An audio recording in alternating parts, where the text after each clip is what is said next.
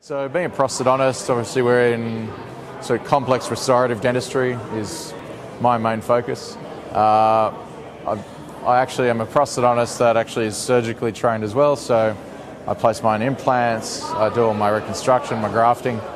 Um, but I think the biggest thing is you understand if you're trying to make implants work or make advanced restorative work, you have to sort of make the whole system work as well. And oftentimes, um, a lot of dentists will overlook the, I guess, the, the overall patient as well.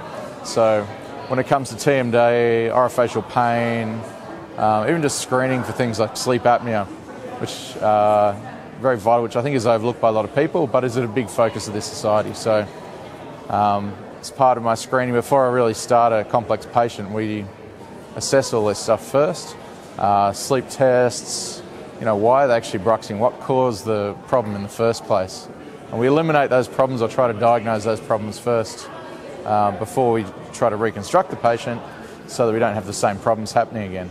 And I think this society gives you a lot of those tools, or the information you gather here every year gives you more and more tools to be able to help your patients better. So.